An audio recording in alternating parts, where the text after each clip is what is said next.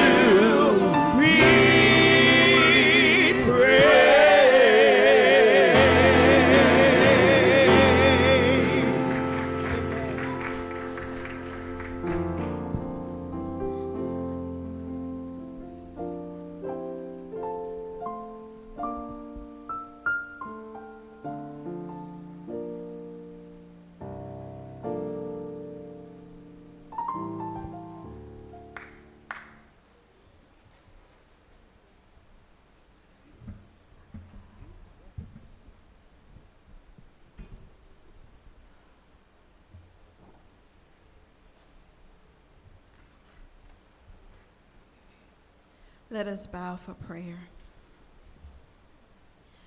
Glory, hallelujah.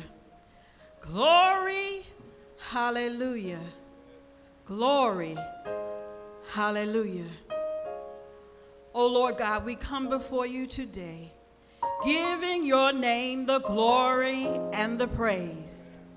For you alone, Lord, you alone, Lord, are worthy of praise. So, Lord, we invite your presence to come into this house of worship tonight, oh God. May your spirit fall fresh on us. Give to each of us, oh Lord, what we stand in need of today. Oh Lord God, we need a word from you today to help us to go on running this Christian race. So we ask, oh Lord, that your anointing would fall fresh on us that it would fall fresh on your preacher today, O Lord, that you would give to him, O Lord, all that he needs to encourage us, O Lord, to build us up where we are weak, O God, but to enrich our very lives, O Lord. We just ask, O Lord, that your spirit would just reign in this sanctuary today, O Lord, that you would have your way through your instrument our revivalist, and that you, oh God, you, oh God, your spirit of love would just show up today so that we, Lord, would know your very presence of love, your very presence that keeps us in your will, O Lord. We bind all things not of you today, O God. We rebuke it in the name of Jesus. And we just ask, oh Lord, that your spirit would reign all over this place, oh God. We thank you in advance, Lord, for what you will do on tonight's revival today. We just thank you in advance, saying, Glory, hallelujah. Glory, hallelujah. Glory, hallelujah. Amen. The song of worship declares that you thought I was worth saving. Amen. So you came and changed my life. You thought I was worth keeping. So you cleaned me up inside. You thought I was to die for. So you sacrificed your life so I could be free, so I could be whole, so I can tell everyone I know. For all of us who are here and know our Savior Jesus Christ, this is a song of salvation and a song of redemption. How many of you are glad to be saved by the blood, redeemed by the blood of the Lamb? Amen. Amen. Bless us.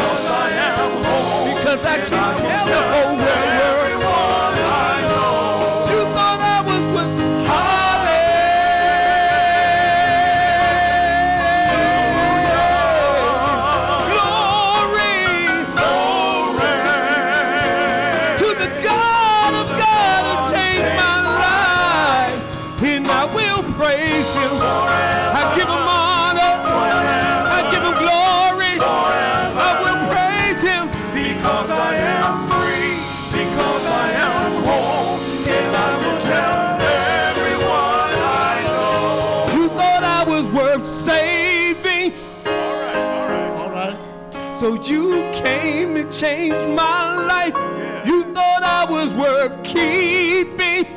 Yes, you did, Lord. So you cleaned me up inside. You thought I was worth dying for. So you sacrificed your life. You thought I was worth dying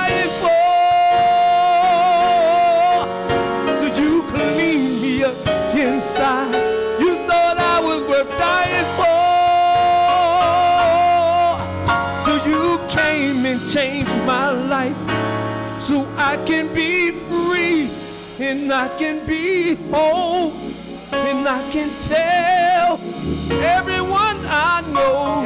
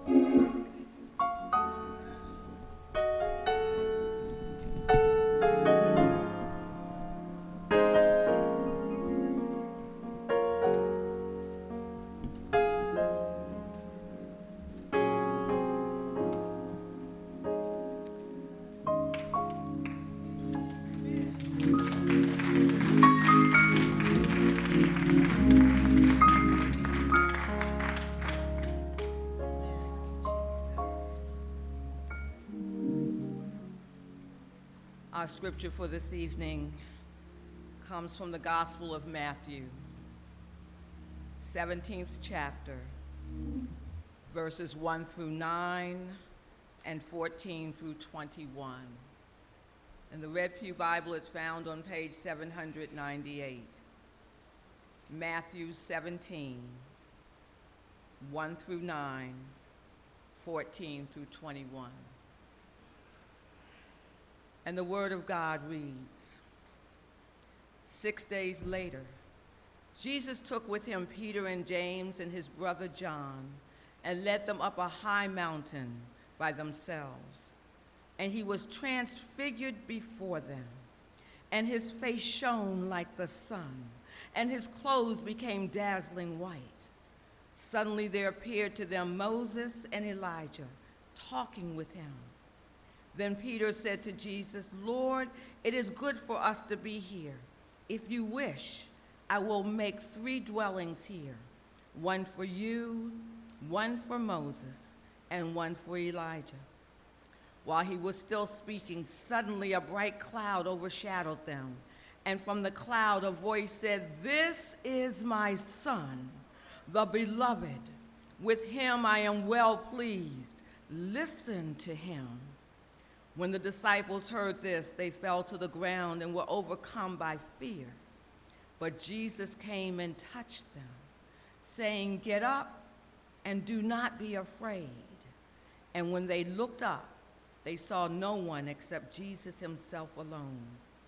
As they were coming down the mountain, Jesus ordered them, Tell no one about the vision until after the Son of Man has been raised from the dead.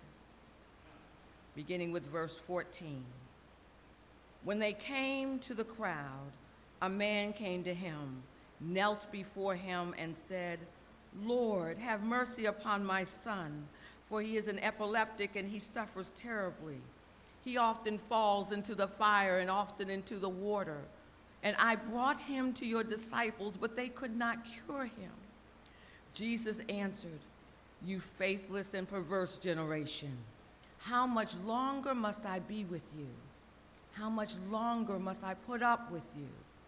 Bring him here to me. And Jesus rebuked the demon, and it came out of him. And the boy was cured instantly. Then the disciples came to Jesus privately and said, Why could we not cast it out? He said to them, Because of your little faith. For truly I tell you, if you have faith the size of a mustard seed, you will say to this mountain, Move from here to there, and it will move, and nothing will be impossible for you. The word of God for the people of God. May we be blessed.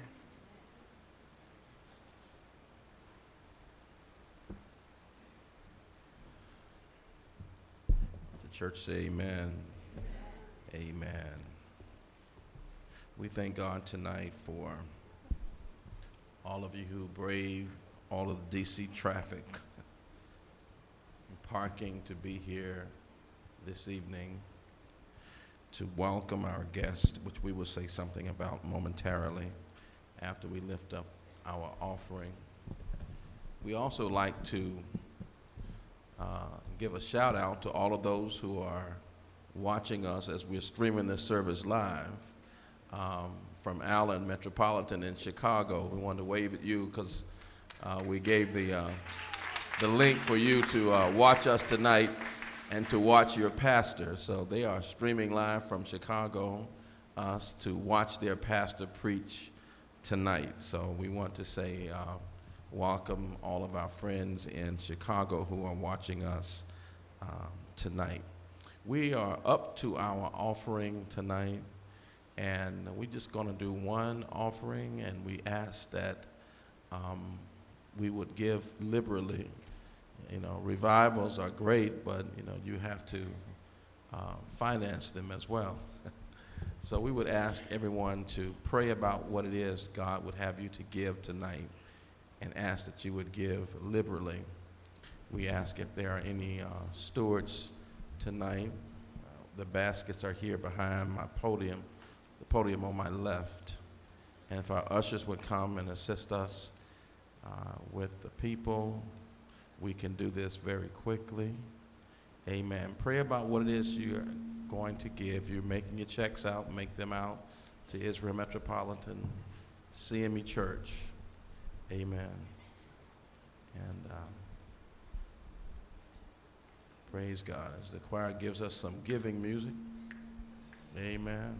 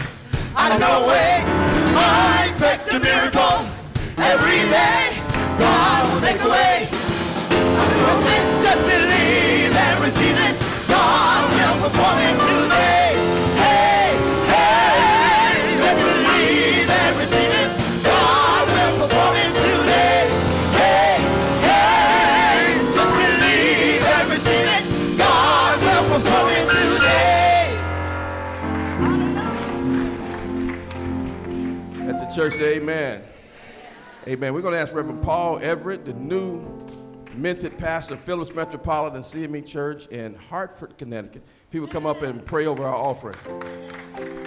He's going to be the speaker tomorrow for the Veterans Day. Amen. He's going to be the speaker tomorrow at Veterans Day at Russell Temple tomorrow afternoon. Amen. So he thought it not robbery to come with us tonight. My good friend, Reverend Paul Everett. If you would pray over the offering for us tonight, Reverend Everett. Let us pray. Eternal God, our Father, we are grateful tonight for these gifts that we have given back to you. We thank you, O Lord, for this night, and we bless you, we worship you, we magnify you. And we pray, God, that these gifts, Lord God, these offerings will be used for the furtherance of your kingdom building. And we give you praise and thanks. Let the people of God shout together, Amen. Come on, give God some praise in this place. Thank Him for the offering. Thank you, Reverend Everett. Amen. Amen. He and his wife formed the dynamic duo at Phillips Metropolitan, the husband and wife co pastors of Phillips Metropolitan CME Church. Amen. He was with us only for a short time in Washington. We still love him. Amen. Pastor of Phillips Metropolitan. Amen. It gives me a great deal of honor to stand before you tonight to welcome our guest preacher for the evening. Last night we had a chance to break some bread with all of the ministers here at the church Reverend Henderson, Amen, Reverend Carol Richardson, Reverend uh, Ayana Carter, and uh, Reverend Michael Gray. Was anyone else here last night that I missed? Reverend Dennis up there, yes, he's on the wall.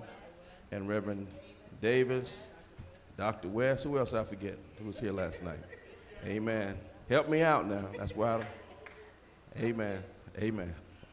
Amen. So we thank God for all of you here last night. And we had a time, didn't we? Praise God. Amen. If last night was any indication of, of tonight, we were just breaking some bread. Amen. Nothing formal. Amen. But he came and just shared with us on last evening. Amen. Um, Reverend um, Bryant is the son of Dolores and the late David Bryant Sr. Amen. He has one brother, Jerome, and two children, David, a graduate of Lane College in Jackson, Tennessee, and a daughter, Anika, also a graduate of um, Lane College. Amen. He's a product of Gary, Indiana. Amen. And um, he um, has traveled quite a, quite a bit and he's pastored quite a few churches. Amen. Let me just rattle off a few. He's pastored the Island Chapel CME Church in Gary, Indiana. He was a presiding elder in the 3rd Episcopal District. Amen. Um, and uh, pastor of the Jameson Temple CME Church, the Walls Memorial CME Church, and currently is the pastor of the Allen Metropolitan CME Church there in the great Windy City, amen, of Chicago, Illinois.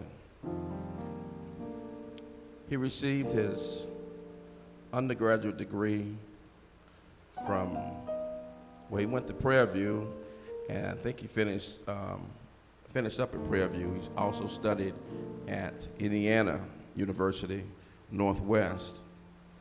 And then he went to Garrett Evangelical Theological Seminary in Evanston, Illinois, where he finished a Master of Divinity degree there in 1987. And just about five years ago, he went back and completed his doctoral studies, amen, at Union Theological Seminary, where he received his Doctor of uh, Ministry degree from there. He has um, been quite involved in ministry and uh, One Church, One School, Freedom School Academy, Fatherhood Mentoring Program, and computer literacy partnerships, and so on and so forth. He has been quite a bit and was voted one of the outstanding young men of America and an outstanding alumni award from uh, Prairie View, and man, amen, and just a lot of other awards. But the one thing about Reverend Bryant that I really like. He is very sincere. And the reason that I asked him to come because we serve on a few served on a few national boards together.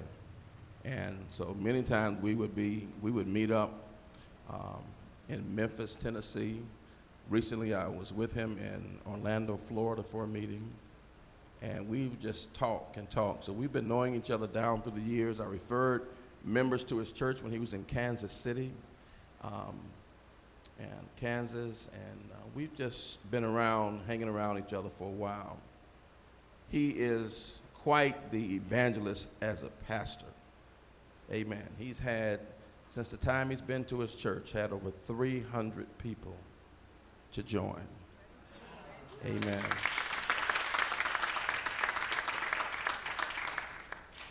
Every week, they go into the worst projects in the city of Chicago. And he has organized his church. They have prayer teams, they have evangelistic teams, and they go out every week. So he just doesn't um, sit and do nothing. He is he's quite busy, quite busy. They have a prayer ministry unlike anything that I've ever seen. You'll hear about that more in detail tomorrow if you come for the workshop. He has his entire church organized um, around prayer. And that's why we wanted to have him here because he prays. He's like a Daniel. I asked him, What did he do today? I, I left him alone at the hotel. And when I picked him up, I said, I'll see you at 6 o'clock today. So I picked him up at 6 today. Uh, and so I said, What'd you do today? He said, I uh, went out of my room to get some ice. He said, Pastor, I stayed in the room praying all day. That's just who he is. Very disciplined. Very disciplined. He prays, and I'm not exaggerating, one to three hours every day. He's, one, he's the most disciplined prayer person I know. And it reflects in the life of his congregation. Um, he's cued me in on some of their prayer calls. They get together every morning around 4.45, 5 o'clock every morning. And he has different people praying for uh, the church throughout the day. There's a person fasting for the church every day. Uh, we'll hear all about that tomorrow and see how he has it organized. But we're here to have him to preach tonight.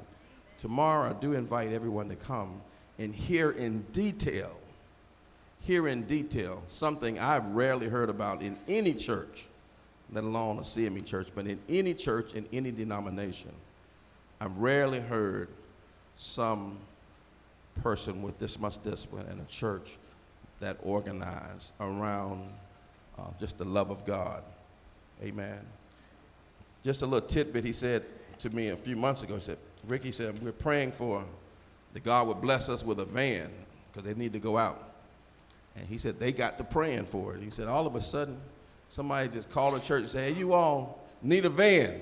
We're trying to get rid of a van. That's the kind of things that you hear in the life of the ministry there at Allen Metropolitan CME Church. Um, he is a lighthouse for the entire denomination, a lighthouse for the country. His mentor and the guiding person uh, he wants to pattern his ministry after is, I think, is Young E. Cho. Anybody have heard of Cho in Korea? He has the largest church in the world. Amen. He has over 200,000 members. And uh, we got a CD last night from him that changed Reverend Bryant's life, and I gave it to all the ministers last night. And mostly everybody said they've already listened to it. It's a very, very inspirational message. And so we want to hear Reverend Bryant tonight. And uh, after we spent some time in Atlanta airport, I think earlier this May, we were together. And so we were at the airport, and, and I said, I really need to get him here so that let the congregation hear what good things God is doing in his life and in church's life. Because we want, we want our church to be a church that's centered around prayer. So all we're doing this year is geared around prayer so that some of the things that we see God doing in other ministries, God can begin to do here. So after the song of preparation from the voices of Israel, the next voice you will hear will be that of our guest preacher for today, the Reverend Dr. David Bryant, the pastor of Allen Metropolitan CME Church in Chicago, Illinois. Again, we like to say hello to those persons watching us live stream from Allen Metropolitan CME Church. And we pray that you would pray with your pastor as he comes forth, as we pray with him too. The voices. This song of preparation is a prayer that says, Be blessed, my brother. Be blessed, my sister. Be blessed wherever this life leads you. Let me encourage you. Let me speak life to you. And then it says, You might be crying, you might be worrying, you might be frustrated too. But again, let me encourage you. And it goes on to say that I'll pray for you, you pray for me, and watch God change things. Amen. In this prayer revival tonight, we've come to be refreshed and refilled and renewed. And how many of you want to see God change some things? Amen. So that we can be more like Him. Come on and bless us.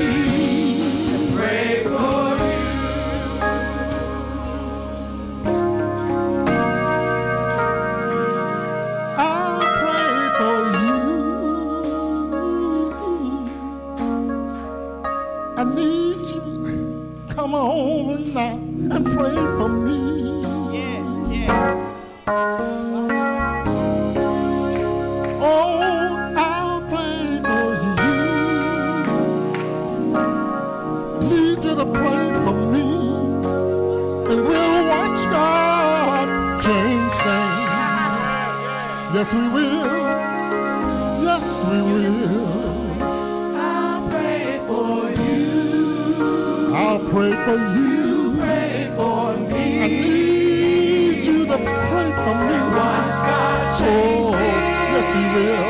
Yes he will. Yes he will. I pray for I you. Pray for you. Come on, church.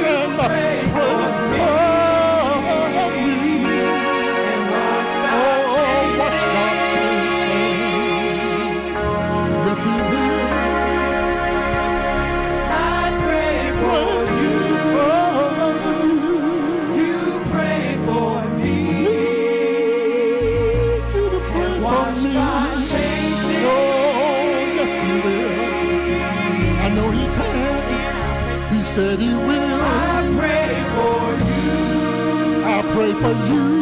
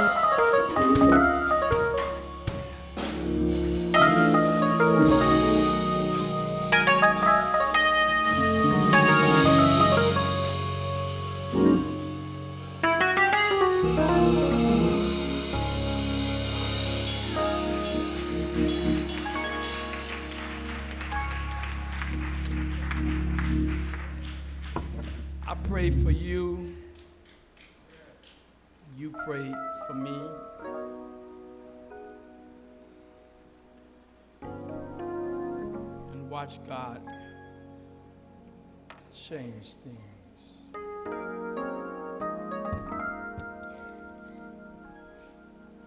What a joy it is to be here this blessed evening the fall revival of the Israel Metropolitan Christian Methodist Episcopal Church my friend and brother, the Reverend Dr. Ricky D. Helton and his lovely wife, Sister Loretta, and the awesome people of God located at the Israel Church in the nation's capital. So it is a joy, a privilege, an honor to, to be here this evening to share with you on this fall revival. What a blessing it is. And we bring you greetings from our Lord and Savior Jesus the Christ, the Holy Spirit, the Father, the Son, and the Holy Holy Ghost. Bring you greetings also from the Bishop Sylvester Williams, who shared with this afternoon, and he wanted me to make sure I give you and Sister Loretta greetings from him and First Lady Carmen, and from the Allen Metropolitan Church family.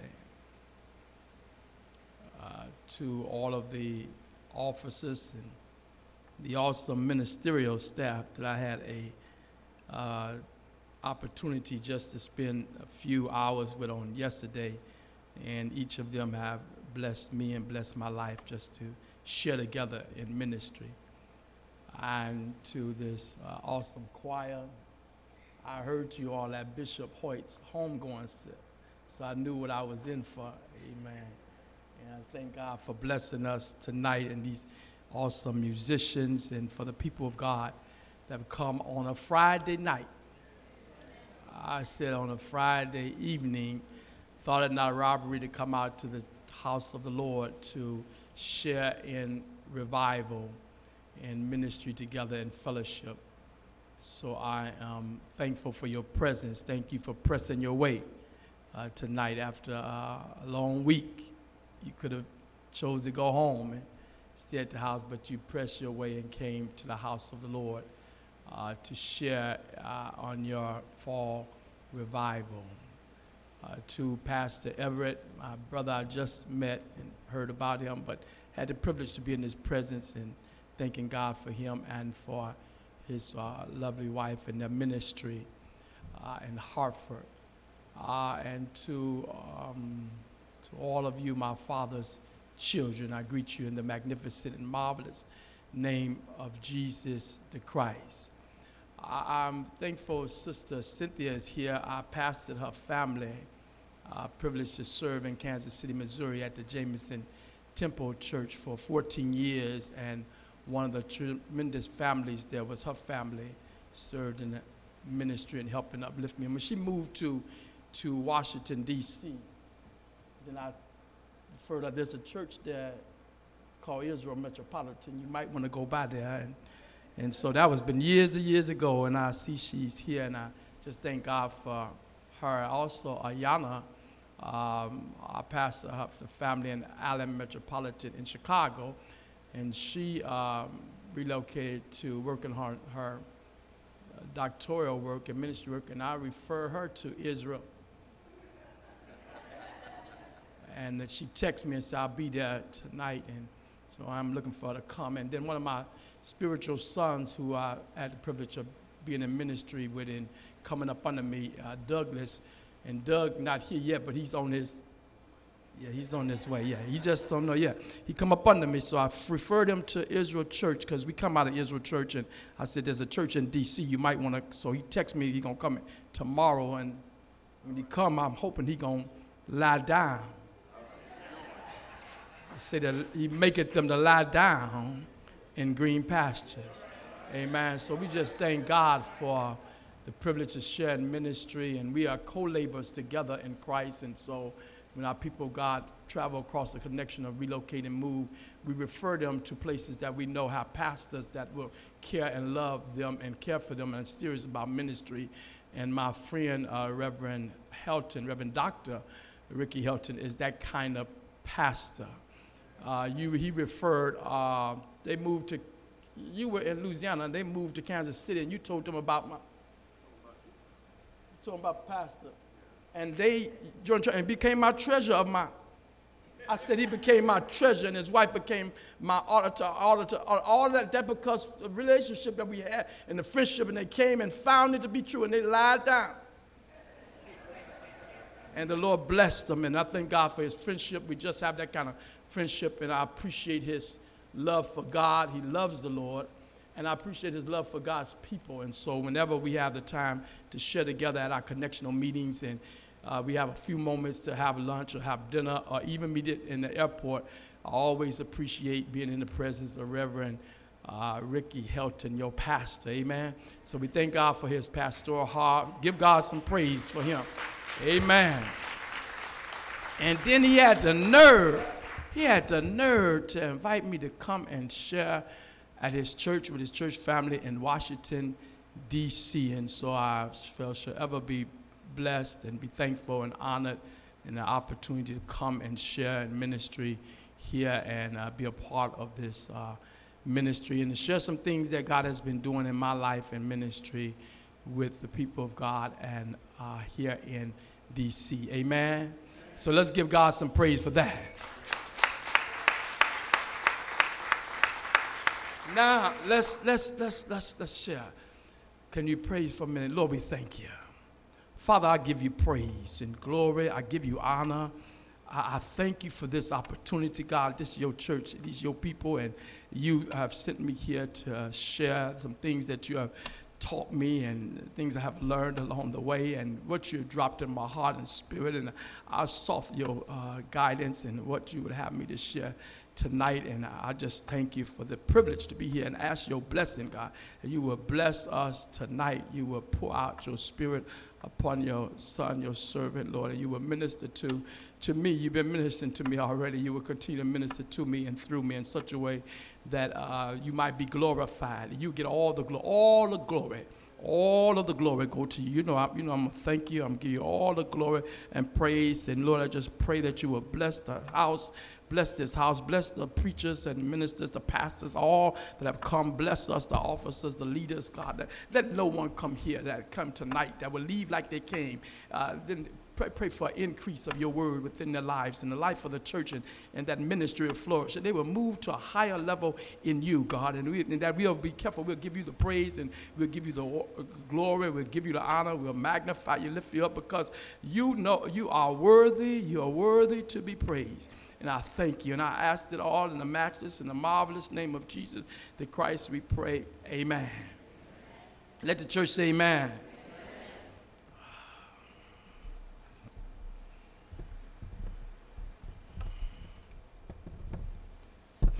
Reverend Helton gave me a gift. I use, I'm using it too. Amen. Somebody give you something, use it. Be thankful. Amen. Gave me a gift. And I thank God for it too. And I needed it too. And I, am using it tonight. I want you to know. I'm using tonight, Pastor. Amen. Amen. Thank God. And, and I want to share. Now, now, Pastor Helton um, invited me to, to come, uh, and the Lord summoned me to go uh, and be with him and his church and minister. Particularly, he was very clear uh, in the area of prayer and the pastor informed me, he said, we are moving and shifting to prayer, and we are a whole, he blessed me because he said the whole year we're going to be out the business of praying. That blessed me. I went back and told my people, I said, the pastor talking about the whole year number of prayer. You know, we with that, we with prayer. So I said, he talking about the whole year. So start looking at how different ways that we can continue to tweak and to tone and to strengthen our ministry in the area of prayer. So I'm thankful for the privilege to come here and share this evening in the area of prayer. And after consorting with God and with the Holy Spirit, I've been led tonight to preach, uh, teach, and preach uh, this evening uh, on the uh, Matthew's the 17th chapter. I want to use Matthew the 17th chapter, the verses that were read earlier by Reverend Carter. I want to reuse that, and I want to minister tonight on the subject. This is the subject of the power of God's presence, praise, and prayer. The power of God's presence, praise, and prayer. You got it? Tonight, we're going to deal with the power of God's presence, being in God's presence, the power of, of giving God praise, and the power of prayer in our lives, in the life of the church. now, now, um, and I want to read Matthew, the 17th chapter, and use that as a springboard for us tonight. Matthew 17, uh, verses 1 through 9. Then I'm going to to, to, to fast forward to verses 14 to 21. I really want 21.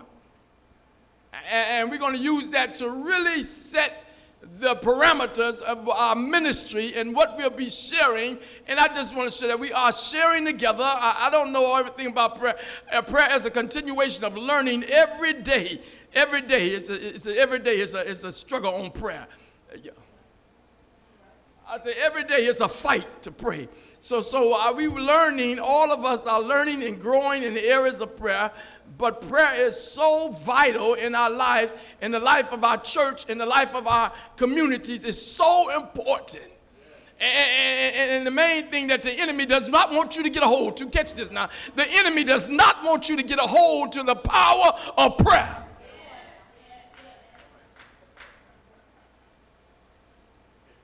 I said it and I'm not going to take it back. The enemy does not want you to really get a hold to understanding the power of prayer in your life. And what prayer would do for you and for your family, do for your, your church, and do for your community. The enemy don't want you to get that.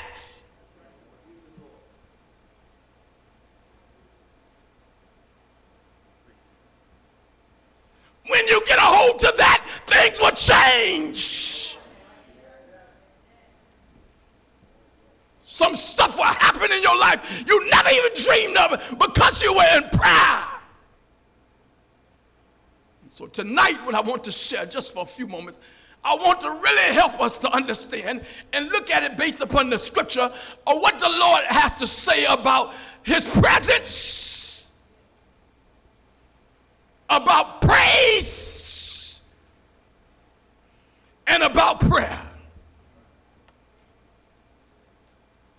And I want to read Matthew 17, 1. Use that as a springboard for us to come home on. After six days, Jesus taketh with him Peter, James, and John, his brother. And he bringeth them into a high mountain apart and was transfigured before them. His face did shine as the sun, and his raiment was white as the light. And behold, there appeared unto them Moses and Elijah talking with him. Then answered Peter and said unto him, Jesus, Lord, it's good for us to be here.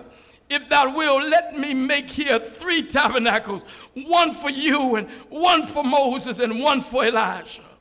While he yet spake, behold, a bright cloud overshadowed them, and behold, a voice out of the cloud which said, This is my beloved Son in whom I am well pleased. Hear ye him. And when the disciples heard it, they fell on their face and were so afraid. And Jesus came and touched them and said, Arise, Be not afraid. When they had lifted up their eyes, they saw no man except Jesus only. And as they came down from the mountain, Jesus charged them, saying, Tell the vision to no man until the Son of Man be risen again from the dead. And when he would come to the multitude, when it came down, it came down from the mountain. Now get this now, they came down from the mountain. And when they way down from the mountain, they came to the multitude, and there came to him a certain man. He was kneeling down to him and saying, Lord, have mercy on my son, for he is a lunatic and so vexed, for oftentimes he falls into the fire and oftentimes into the water. And I brought him to that. Listen, I brought him to your church. I brought him to your disciples, and they could not cure him. Then Jesus answered and said, O faithless and perverse generation, how long shall I be with you? How long shall I suffer you? Bring him hither to me. And Jesus rebuked the devil. It was a spiritual matter. He rebuked the devil and he departed out of him, and the child was cured from that very hour. And then came the disciples to Jesus apart, and they said to him, Master, why could not we cast him out? And Jesus said unto them, Because of your unbelief. For verily I say unto you, if you have faith as a grain of a mustard seed, you shall say unto the mountain, Remove, and the mountain shall go yonder place, and it shall be removed, and nothing shall be impossible unto you. However, however, now, this kind goeth not out, but by prayer and. Now, I want to share uh, with you on the subject the power of God's presence, praise, and prayer. Because I'm convinced, church, based on the scripture and on my personal experiences, I'm convinced that uh, victory comes as a, in our lives and in the life of our church and in our community. Uh, victory comes as a result of our ability to stay in the presence of God. Victory comes as a result of our ability to praise God no matter what the situation may look like. Continue to lift God in praise. Victory comes. Victory comes not only uh, uh, in our ability to stay in the presence of God and in our ability to praise God, but victory comes when we are in communication through prayer with God. Victory comes every time. Every time we get to victory, not one time have I ever lost the battle that I was in prayer with God. Not one time have I ever lost the battle that God did not show up and show out when I stayed in the presence of God. Not one time. Not one time when I gave God praise, when I didn't see it, I just started praising Him in the anyhow and kept on praising Him. Something happened. Every time. I'm convinced, no matter what the situation may be. And so, just for a few moments, if you let me indulge me just for a few minutes, I want to share some things that really help us based upon the scripture where we see God at work within the, the life of the church and the people of God as a result of their ability to stay in His presence. Hallelujah. There's joy and power in the presence of God. In your ability, in your life, in your life, if you can somehow press your way, you did it tonight. Press your way. Somehow you can press your way and stay in the presence of God. Victory will come in your life. Now, now, in Exodus, I'm going to use for a, a backdrop. Exodus, the 17th chapter, you read it later. The 17th chapter, beginning at the 8th verse, the 8th through the 16th verse, is a story of the church uh, in the wilderness. And Moses, the pastor of the church, is pastoring the church. And the church is, come, uh, is being under attack by the enemies of the people of God. The people of God are under attack. I said, the enemies of God are about the business of trying to wipe them out. And the Bible informs us that Amalek, which is the enemies of God, came against, to fought against the people of God. Y'all do know that's what happened in your life.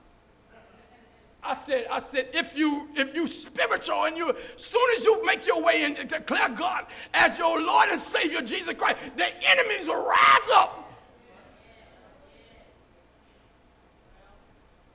And the higher up you go, the more enemies will come.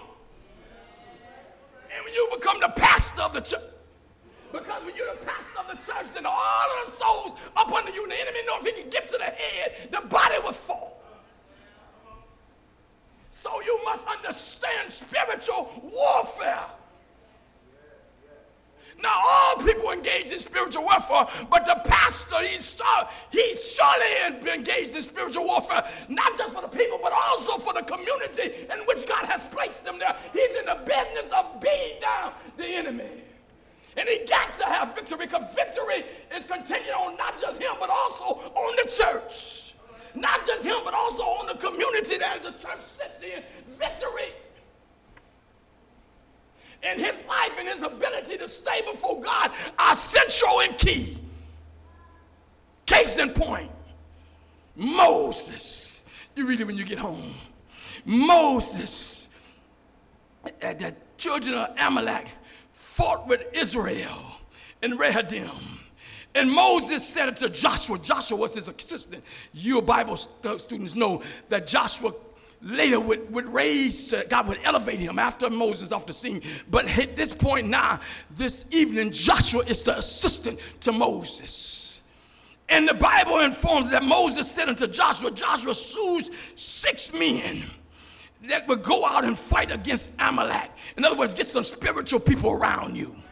Get some folk that you know really have a relationship with God, that know God. And walking upright in the Lord, power, get them around you. He said, Joshua, choose out um, the men and go out and fight with Amalek. He said, and tomorrow, tomorrow, what I'm gonna do, Joshua, I'm gonna go and I'm gonna stand on the top of the hill uh, with the rod of God in my hand. This is what he tells Joshua. He said, Joshua, you in the valley. You're gonna be fighting in the valley with the spiritual folk. I'm gonna go out on the hill. I'm gonna stand on the top of the hill with the rod, you know, the same rod that I used that God I pointed at the Red Sea and parted the Red Sea. I'm gonna put that rod up before God. And I'm gonna stand there, Joshua, and you fight. Now, what is that talk? What is that saying? That's saying that the, the, the pastor, that spiritual warfare, the people are in the valley. When you when you leave out the church, uh, my, my professor, he's preaching professor, Dr. Felton, he going on to glory. Now he would say this, he said, you leave the people on the mountain when you get through preaching. They'll find their way back to the valley. He said that you just leave them on the mountain, they'll find their way back to the. There's some stuff and issues that you'll be going through in their family, on the jobs, in the community, and they gonna find themselves in some difficult situations through the week, but leave them on the mountaintop. They'll find their way back. And that's what he told Joshua. He said, Joshua, go down there and fight. And now you fighting? I'm gonna go stand on the top of the hill.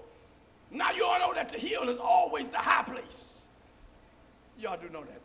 The mountain is always the high place, and Jesus always went to the, and he took his disciples to the, because that was where the place is closest to God. And Moses said, I'm gonna go and stand on the top of the hill. I'm gonna take the rod of God and I'm gonna point it up to heaven. In the Bible, you know that the rod was symbolic. The rod was a metaphor for the presence of God in his life. And so he would say, I'm going to take the rod up to heaven. And the Bible informs us in the 10th verse, 11th verse, it came to pass when Moses held up his hand that Israel prevailed. And when he let down his hand, Amalek prevailed. Now that's deep. The, the war was not really dependent on them. The war, the, the war was dependent on Moses' ability to stay before God. Now that mess, really mess you up. That, that, that, that, that really the chief uh, turning point, the game changer, what they call the game changer was the pastor's ability to stay in the presence, the presence of God. It said that long as his hand was up, Joshua had victory. When his hand came down, the enemy had victory. So they figured out, they said, we got to keep the pastor's hand. You know, you know, Pastor, I had a, I had a, I told you uh, the people last night, to the minister last, I had a paradigm shift. I have been in ministry for 20 some years. But the Lord told me, say, put your net on the right side. And I, I in my early morning prayer, I said, Lord, what's the right side? I don't know. oh, y'all know him. I said, Lord, what do you mean? You told me to put my net on the right. What do you mean? Help me. And how many of y'all know if you ever ask God to help you, He help you? Every time I asked Him for something, He always.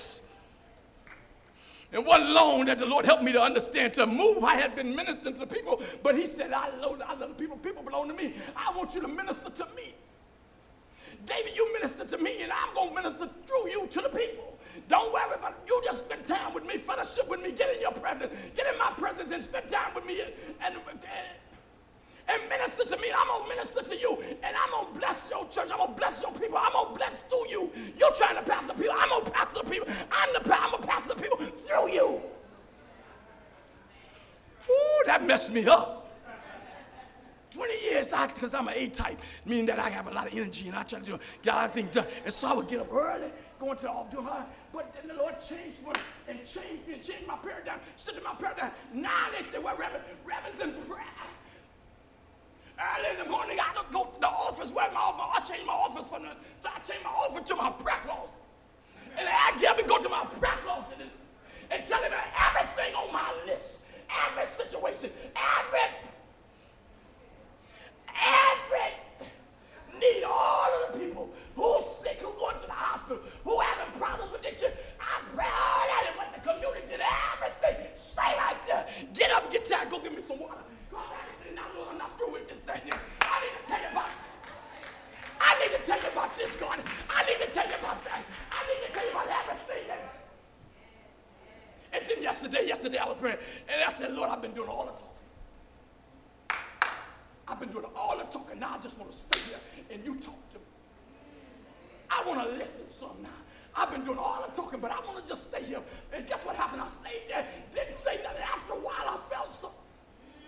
After a while, that thing changed, and, and it was a different kind of atmosphere. I wasn't talking no more. I was listening. He was talking, and it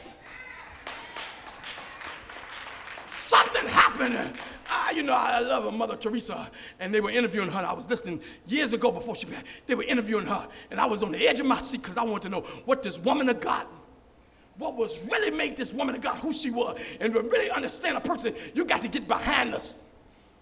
It ain't that what you see out there. It's behind the scenes. Some stuff was happening. I was on the edge of my seat, and the commentator said, Mother Teresa, when you pray, what do you say?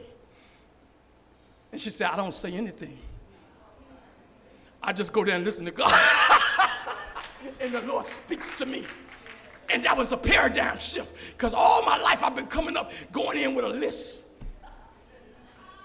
Tell the truth and shame the devil. Anybody in the house?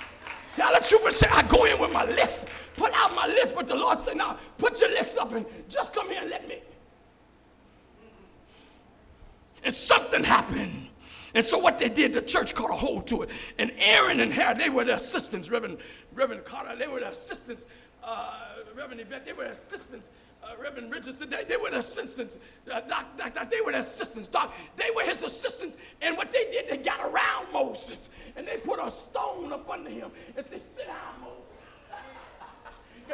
Because you know the, the, the race is not given to the swift, but those that endure for the... Said, sit down, Moses, sit down. And Moses, don't worry about nothing. Then Aaron got on one side, and uh, Aaron got on the other side. You know, Aaron was the priest, the first priest. He got on the other side, and they held up Moses.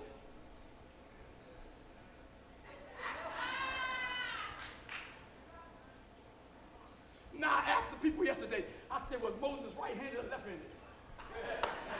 You know, all kind of stuff like that be going through my, my spiritual imagination. But uh, one thing that the Holy Ghost told me said, but we know that he, one weak arm was weaker than the.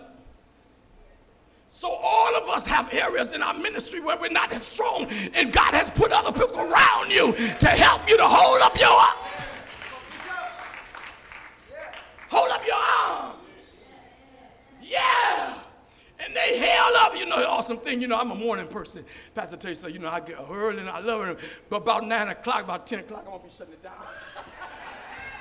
but, but I'm not tonight because I got some rest. but usually I'm a morning person. I know. I just want. I just wanted to put that in there. That's a little one, so they can know, Pastor. you know, You're not coming out of this right away. No, I'm not gonna fall asleep on this one. No, I'm the Lord didn't prepare me. But I want to say with you, the awesome thing about it, what I learned, uh, because I'm a morning person, but the Lord put another ministers around me that are night people. And at nine o'clock at night, you will tell me, Nine o'clock at night, they're gonna blow my phone up. Because they pray at nine o'clock at night and they called me Dr. Jamisa. She called, she ain't gonna call today because you know I'm afraid. Hallelujah. They called me at 9 o'clock and then uh, give me the scripture that we were praying for, and then they start praying, and she prayed like a wild woman. at 9 o'clock at night, I said, My God. My God, where all this come from? My God, this woman praying.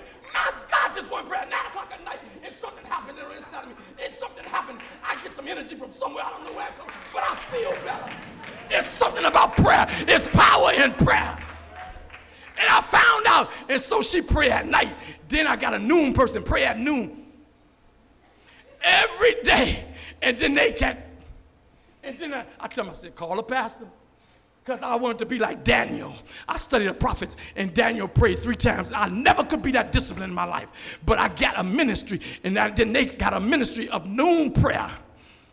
And nine o'clock prayer, and they call a pastor. I be I call at at 4:45 in the morning, but they call at 12 o'clock and at nine o'clock at night. And the victory, when I found out that the victory, the victory was not contingent on Joshua, and uh, the victory was contingent on Moses and Moses' ability to stay in the presence of God. I found that out. That was a that was a eye opener for me. I said, you know, the victory, this victory is about about my relationship with God, my ability to stay before God. When I pray, things happen. When I don't, I can tell just as good. When I pray, my prayer life is strong. I can pray. I can tell just as good when I've been in the presence of God and when I haven't been in the presence of God and I've been trying to do it on my own and when I've been in the presence of God, I don't have to do it God. And I can tell just as good when I've been in prayer. And you know, we, just like in Chicago here, just like in Chicago. That, the traffic is horrendous. And I can tell just good when I've been in prayer. I can get to the hospital. And as soon as I get there, somebody pull out.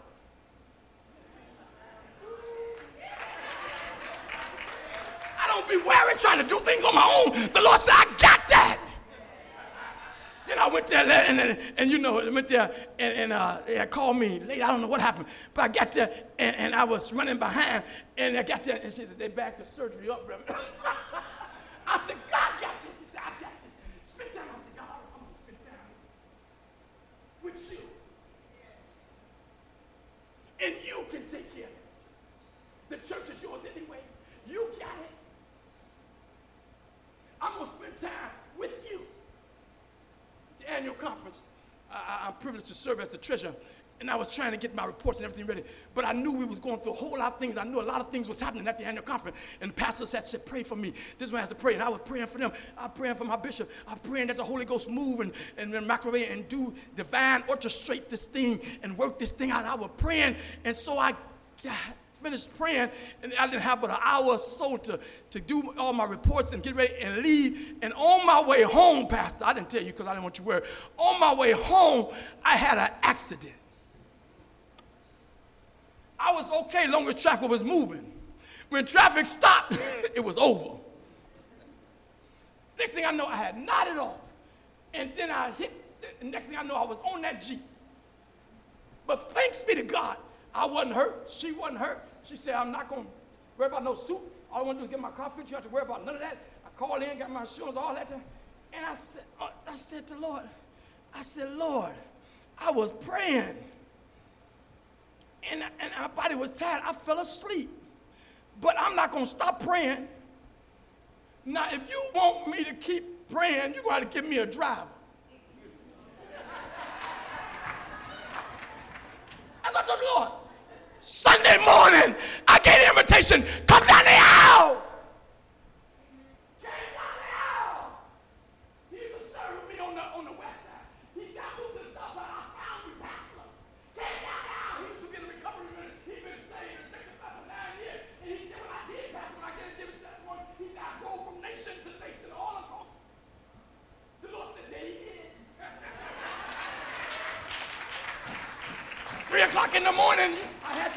me on the, on the early morning, the red eye. 5 o'clock in the morning, 3.30, he was there. 3.15, he was outside. Pastor, I'm here. The Lord put you in my, your life in my hand. You don't have to worry about it. I'm going to take care of business. Stay in the presence of God.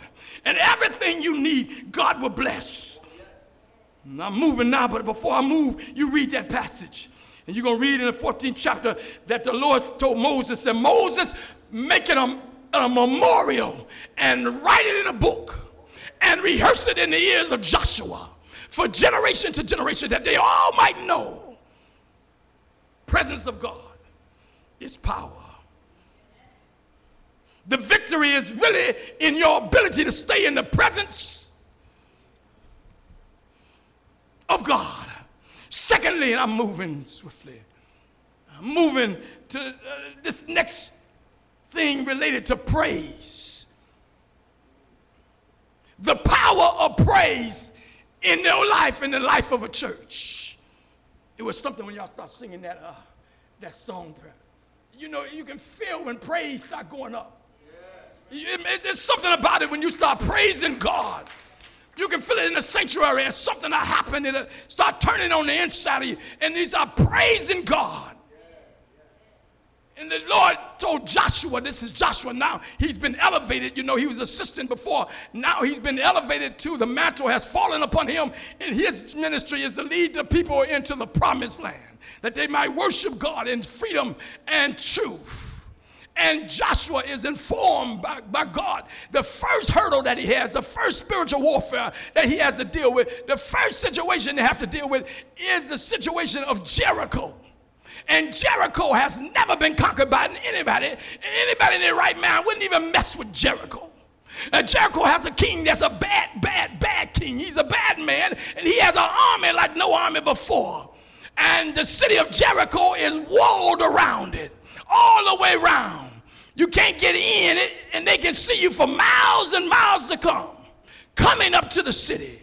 It's an awesome thing. I was in Jerusalem, and, I was in the Holy Land, and they took us to the same site where um, uh, uh, Joshua fought the battle and where Jericho used to be. I said used to be, not there, but the Lord wiped it out, and He took us to where it used to be in the ground around there.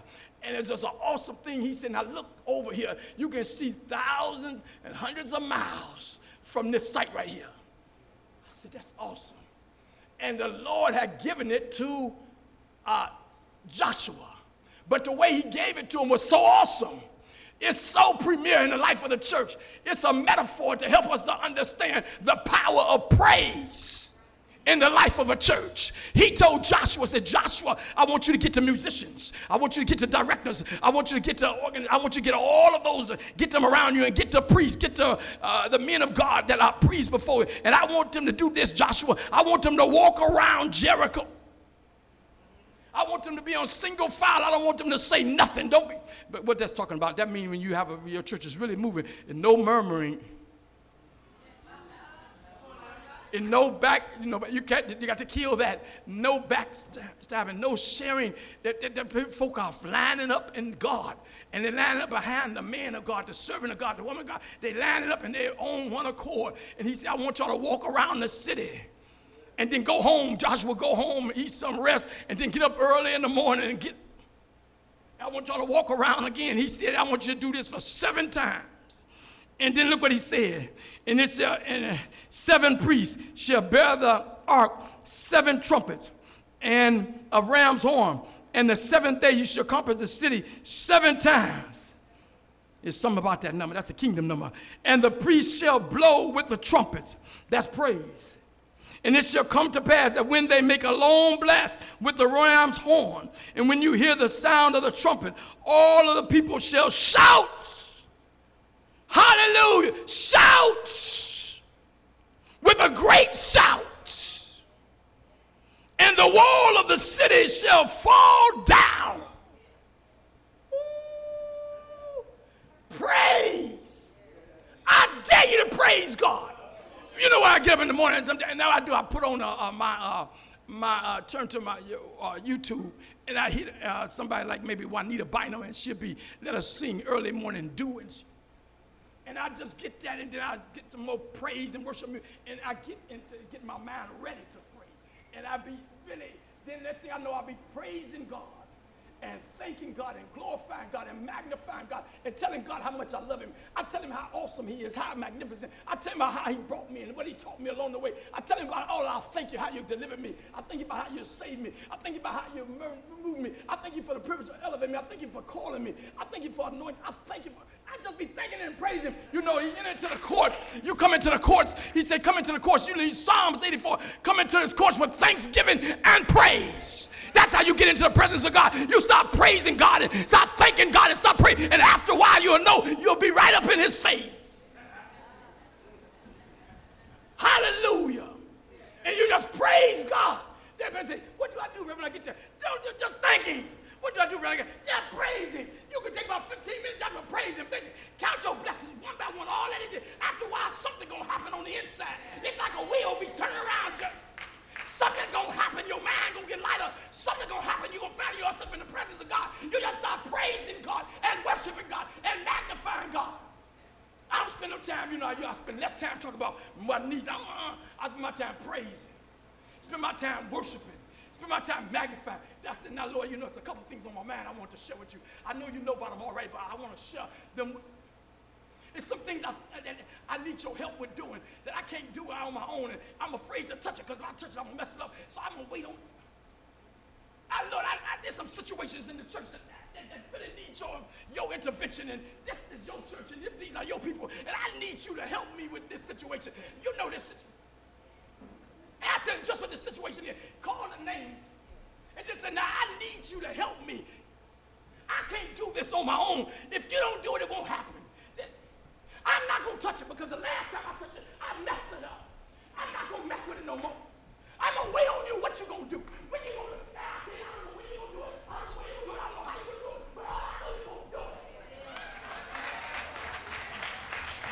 And guess what happened? Sometime before I get off my knees good. That day, that same day, some stuff happened. My God. My God. Prayer and praise. And the wall came tumbling down. Hallelujah. And they walked over flat.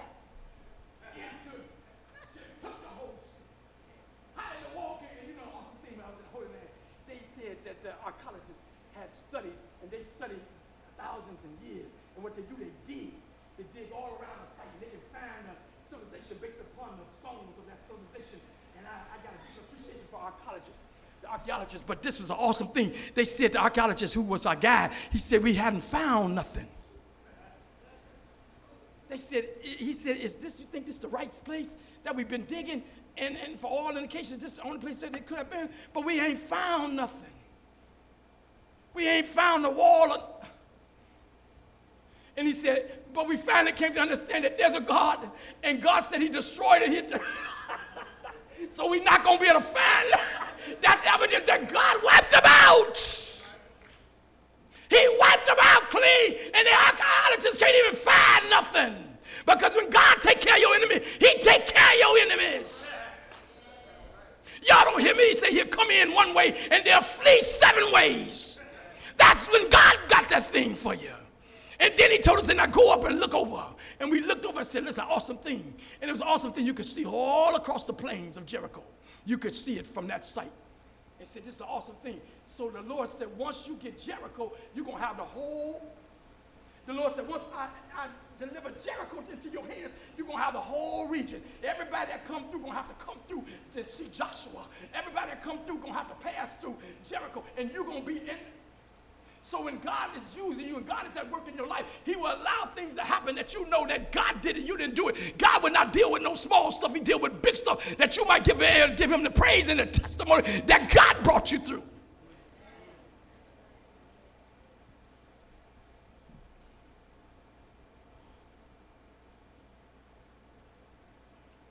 I dare you to praise Him. Hallelujah. You know, we even shifted out our church we do spend more time in prayer. so said, we're going we gonna set the atmosphere. You let them, because that's something, something different, Reverend, you're trying to preach. And, and, and those, But when the atmosphere's set, Reverend, you can get up and say, Hallelujah, and then fall out. Because the atmosphere's set, and the Lord can work on their hearts and minds, and they're ready for the word. And all you got to do then is get up and preach the gospel, the good news, unadulterated, and it'll fall on good ground. And that's what He gave us music for and praise for. And that's why I let the praise team go. I'm not coming up behind that. Let the praise team get that thing ready. I'm not coming up. I'm gonna let that praise team right and work on them hearts and minds and let the people start praising. Let some folk get up and start praising God all the way in the back of church. Now I know it's ready now. It's ready for the word. They're ready for the word of God now. It has set the atmosphere. Praise has set the atmosphere. Hallelujah. And folks in there, preach, Reverend, preach. Preach, Reverend, my heart, preach. I'm ready now. Give me the word. Give me the word. Praise. Hallelujah. I found it out in my personal life. Praise. I found it out in the church. Praise. And there's power. Wonder working power in praise.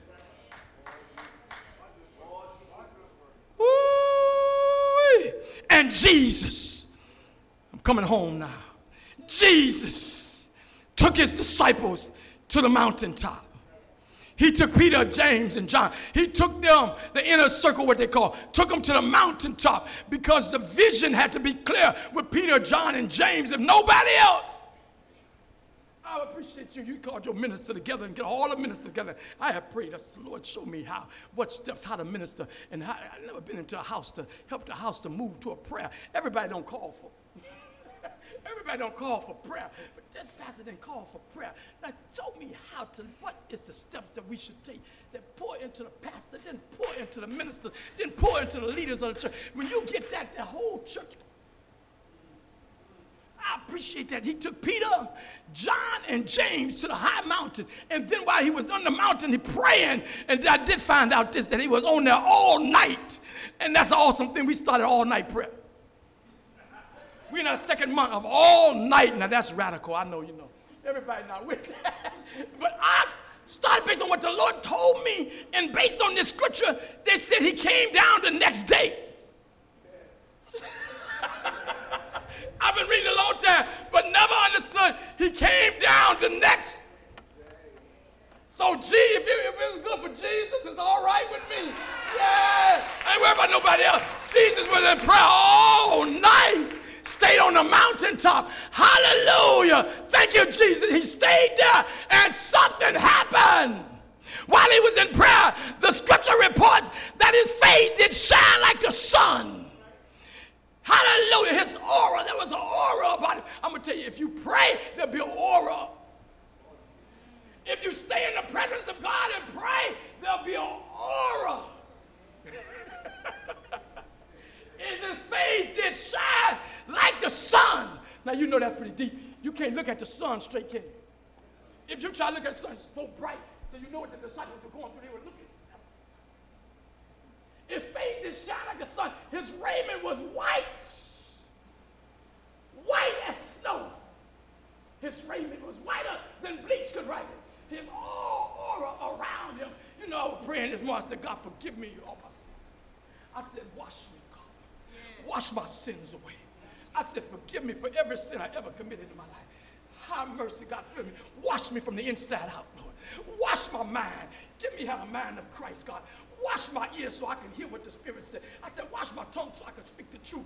Wash my feet so I can walk in paths of righteousness. Wash me, God, wash me. Please wash me, wash me, wash me so I can hear what you hear. Uh, wash me that my heart can be pure and I can see you. Because said, blessed are the pure in heart, they shall see God. Wash my heart so I have a pure heart. I can see you and I can see you at work within the life of the church. Wash me, I can see what you see. I can hear what you Wash me, wash me, wash my sins away. Wash me, wash me, wash me. Wash me till I'm Wash me in the blood of Jesus. Wash me. Sanctify my mind. Don't let me think that evil stuff. Don't let me be selfish. Don't let me be mean. Don't let me be unkind. Wash me. Forgive me for my. Wash me. Wash my sins away. Wash me. Forgive me for the things I did. Now forgive me for the things I didn't do I should have done. Forgive me when I didn't speak it I should have spoke. Forgive me when I said something that was. For, forgive me. Wash me so I can hear. Wash me so I can feel like you feel. Stay in the presence of God and get white. It was like white, whiteness all around me. It was like whiteness. And behold, in a, is a white as lightning. And there appeared to him, now this deep, there appeared to him talking to him. They appeared to him in the midst of prayer. The prophet, who was the, um, the uh, arch prophet, if you want to call him, he was the prophet of all prophets, the prophet Elijah. He was talking with Elijah. You know, Jesus also, man he was talking to Elijah, and Elijah was there, and they took and they, they said that looked like Moses. And Jesus was talking to Elijah and Moses. Hallelujah. In prayer. Because when you're in prayer, God will speak to you and you'll have a prophetic life. When you're in prayer, you'll be able to fulfill the law of God in your life and in the life that God has given you, you'll be because Jesus is the fulfillment. Uh, they said to Jesus, they said, Jesus, we want to build three tabernacles. Said, and a voice spoke from heaven, a cloud, and then the cloud was the Holy Ghost. And the, out of the Holy Ghost, the Father spoke and said, This is my beloved Son. Hear ye him.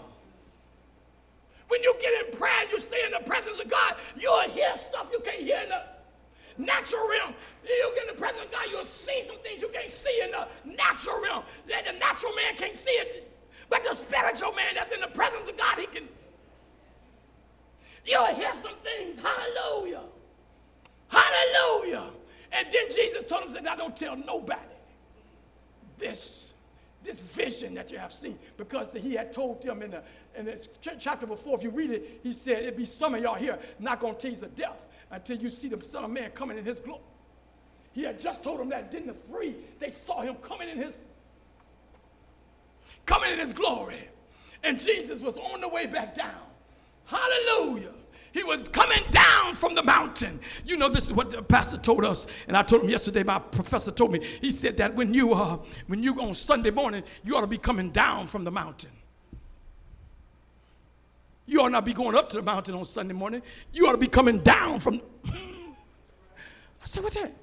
In other words, soon as you soon as you come down, when you get through preaching on Sunday, soon as you come down, soon as the benediction comes, soon as you get through shaking hands, then go go immediately in prayer.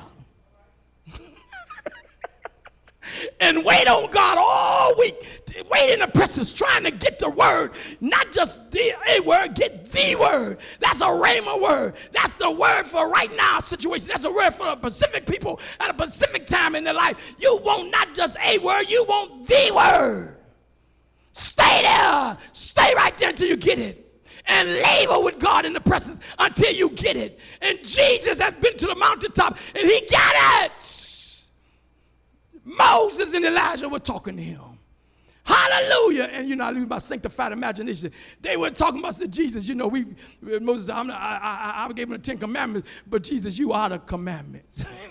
you the fulfillment of all of the commandments. Jesus, I gave him the Ten Commandments, but you the real law. You're going to put the law not in no tablets, Jesus. You're going you gonna put the law in their heart. They were ministering to Jesus. and then uh, prophet, and then Elijah, I use my spiritual imagination. And then uh, Elijah said, Jesus, I, I was prophesying. I, I'm the chief prophet, prophet, prophetic word that was given to them, but you are the fulfillment of all of the prophecies. All of the prophecies are wrapped up and tied up in you, Jesus. You are.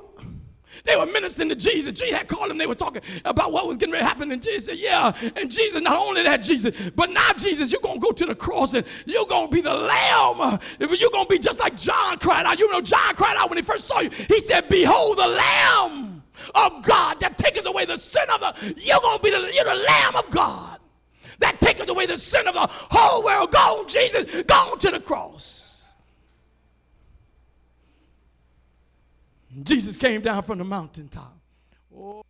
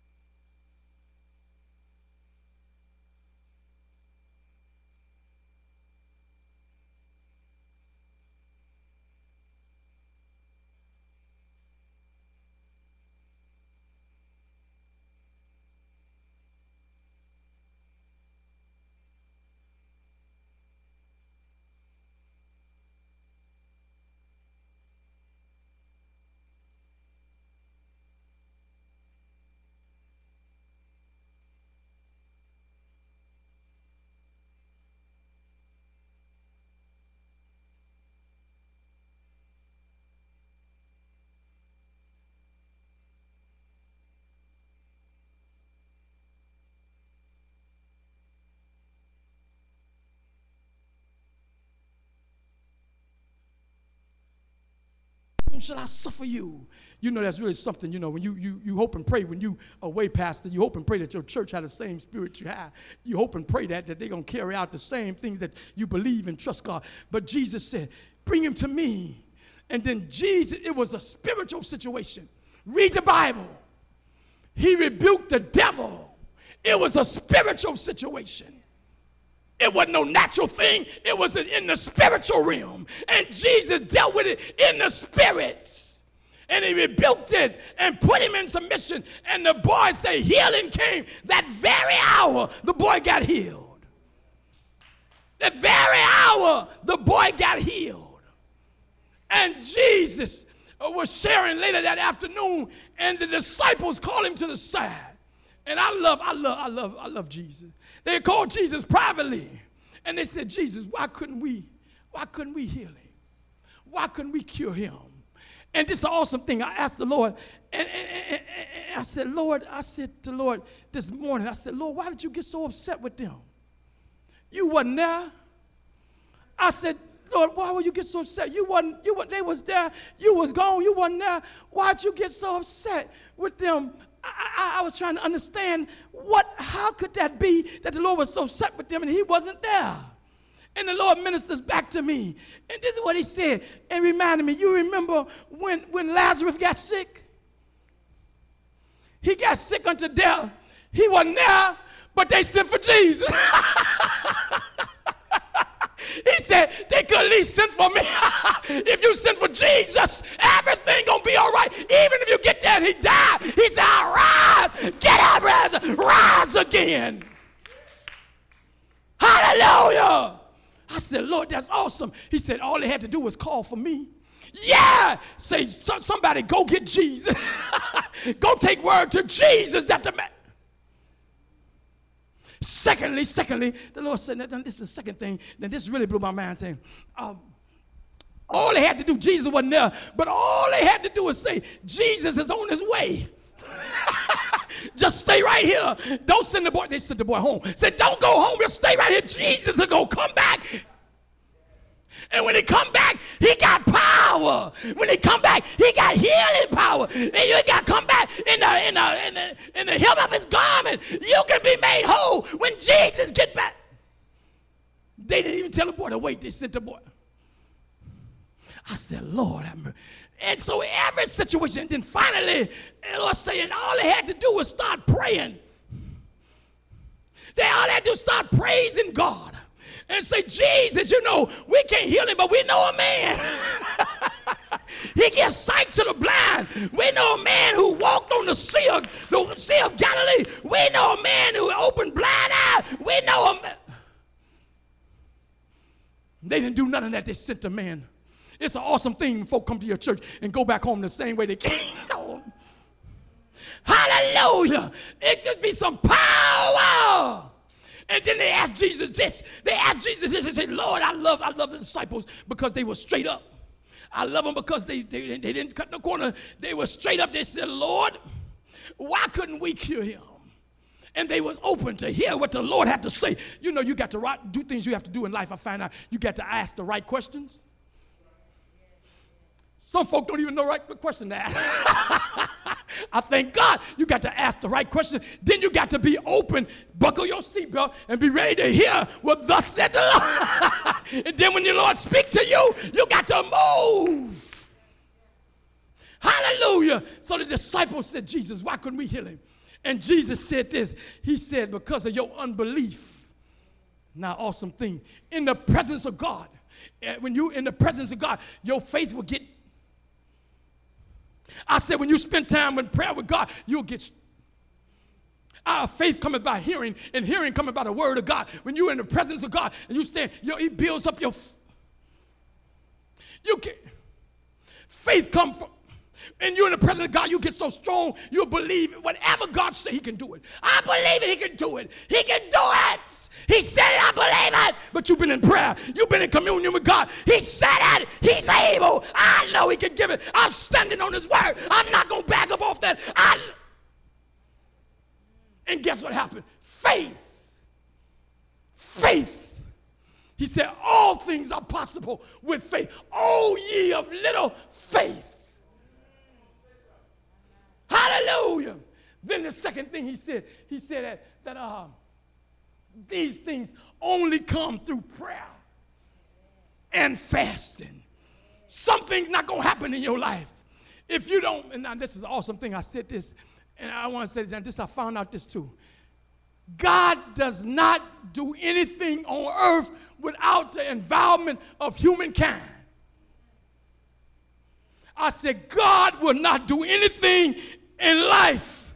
You say, uh, you know, in Chicago, it's a whole lot of struggle. They got television shows and everything now, radio stations trying to say what is going on in Chicago. Why all, well, and then, then one uh, person was on and they said, why God let all this happen? he blamed God for it. But God, God gave dominion to it. He said, I got the earth and I got the heaven and you got the, whatever you loosen. I'll loosen it. Whatever you bind, I'll bind it. And God does not do anything. He involves the humankind. He involves us, those believers of us. He said, if my people that are called by my name will humble themselves, pray, seek my face, turn from their wicked ways, I will hear from heaven, forgive their sin, and heal, heal, heal, heal heal the land. He's a healer. He'll heal the body and the soul. God is about the business of healing. And in the kingdom of God, healing went forth. Everywhere that Jesus went, somebody got healed. Everywhere his ministry was a ministry of healing and deliverance, a ministry of casting out devils and demons, a ministry of walking in victory and power. Everywhere that he went, hallelujah, the devils were trembling. Yeah, angels fall prostrate. He was Jesus, the Son of God. And he said, I give unto you the same power that you can tread on scorpions and serpents. He give us the same power and authority, and it comes through the power of prayer. Yeah. Now it's powerful. Say one could put a thousand to flight, two could put ten thousand. One could put a thousand, but me and you get to get 10,000 demons. We run up out of here.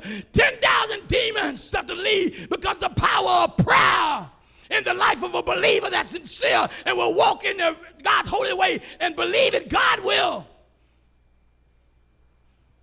God will. Yes, He will. Hallelujah. Give God some praise. Yeah. Come on, musicians. Come on. Yeah. Prayer. The power of prayer. The power of the presence of God. The power of praise.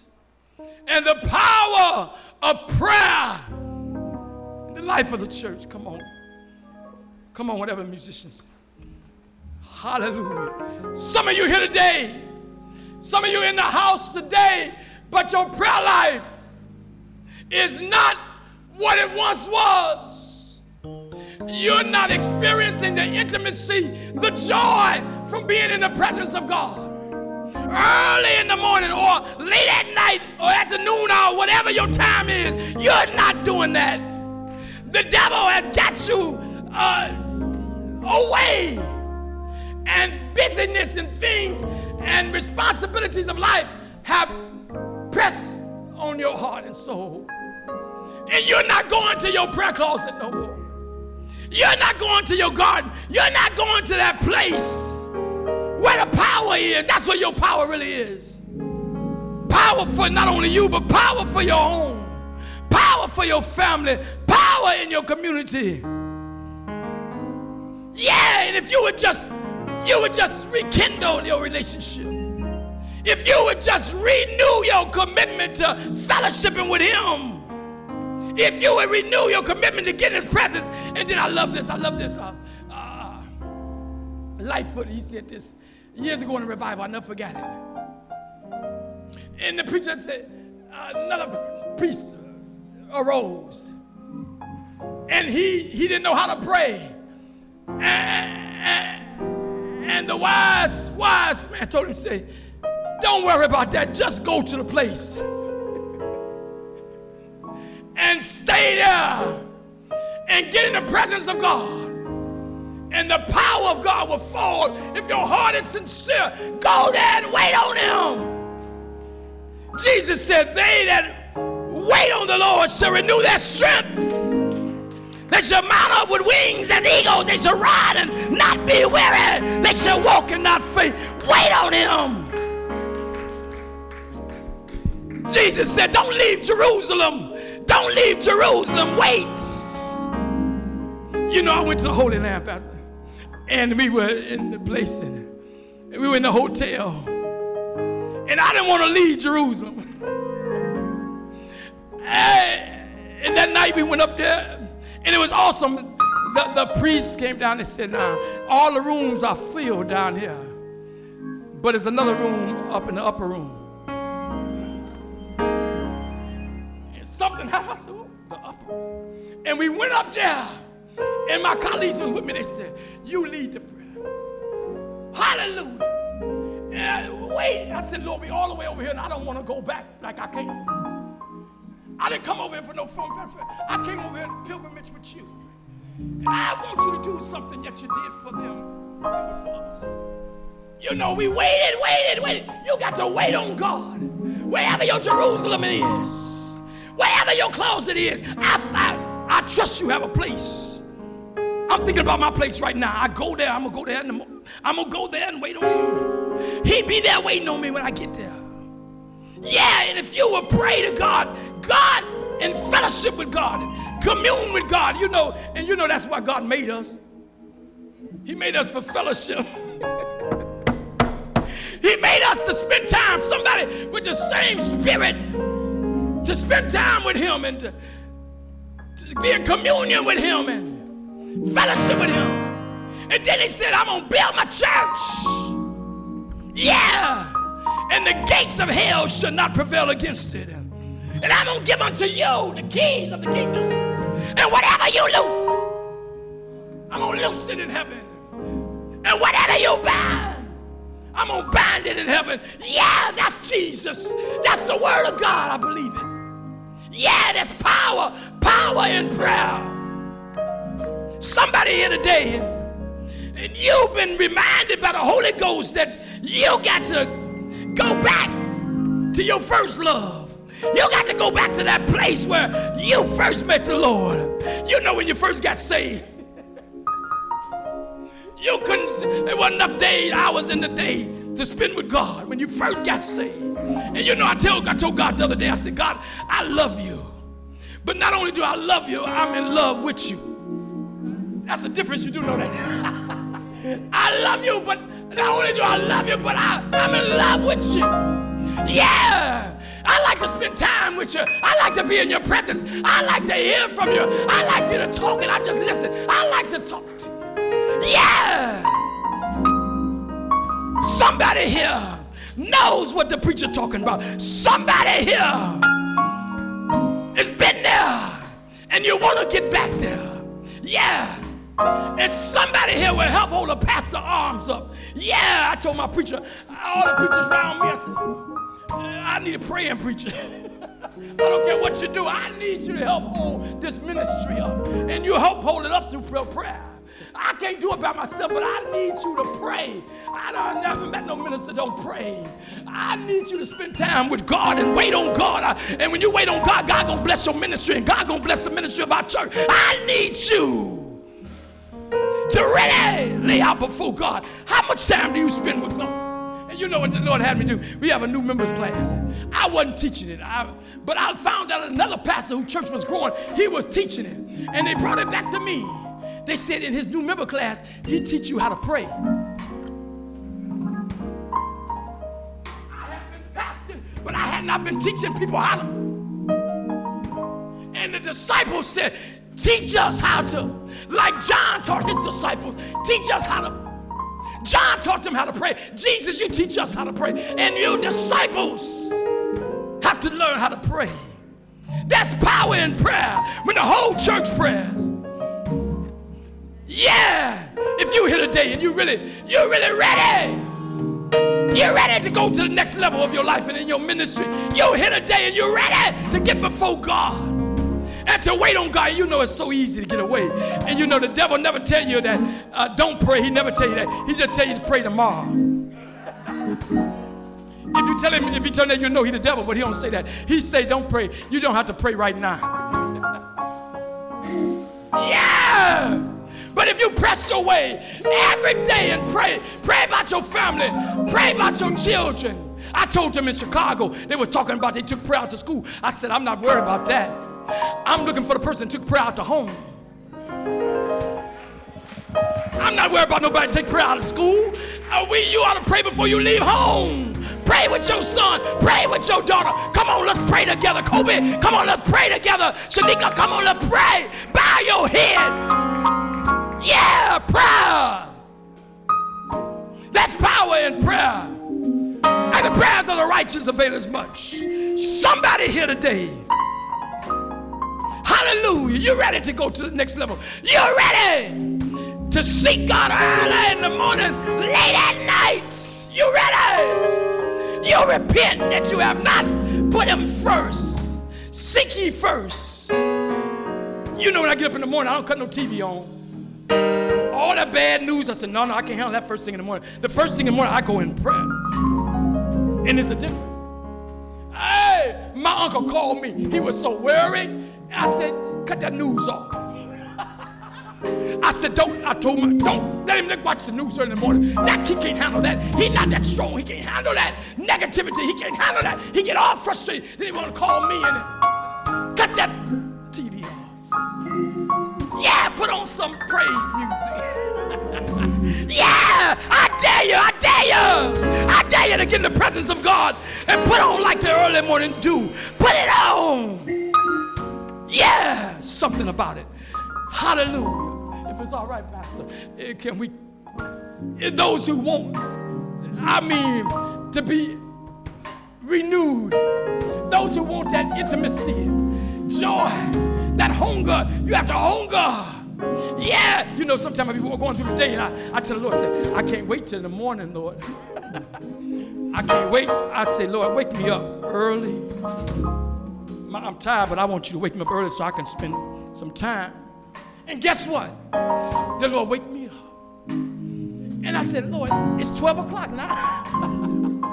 I thought he was gonna wake me up about 2 o'clock. And the Lord tell me, come on right now. Come on, let's spend some time together. Yeah, it's power in it. Power in prayer. Power in praise. Power in his presence. Yeah, I dare you. I dare you. Put God first. Seek him early while he may be found. Yeah, wait on him. The altar is open now. It's open to come and kneel. Come on and kneel at the altar. Come on and renew your relationship. Come on and renew your intimacy. Renew your joy. Renew your praise. Renew your prayer life. Come on, come on and get in the presence of God. In his presence is power. In his presence is peace. In his presence is joy. In his presence. Get in the presence of God. Yeah. Yeah, he'll bless your ministry. He'll bless your church. He'll bless your family. He'll bless your community. He'll bless you. If you get in his presence, the presence of the Lord. Yeah, Jesus is the high priest. And all you got to do is get in his presence. Yeah, it's like oil that ran down Aaron's head upon his beard, even down to the skirts of his garment. Jesus is the high priest. And that's why the woman, the woman who had an issue of blood for 12, 12 long years, she pressed away. And she just touched the hem of his garment. She got in the presence of God. And something happened. The issue was, she was healed. Won't you get in his presence today? Won't you get in the presence of God? Won't you renew your commitment to fellowship with him every day? Every day is new mercies. Every day. Yes, more power for you. There's no weapon formed against you shall prosper if you stay in the presence of God.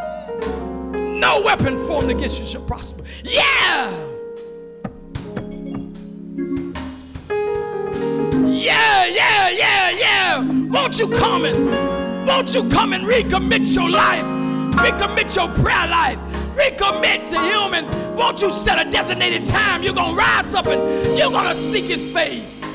He said, If my people that are called by my name will humble themselves, humble yourself, turn from your wicked ways, trying to do things on your own, why don't you turn it over to God? Why don't you trust God?